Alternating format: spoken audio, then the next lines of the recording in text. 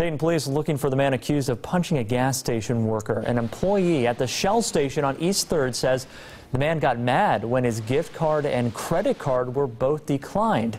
The worker says the man yelled at him, calling him a terrorist and then punching him in the face. The victim was taken to the hospital.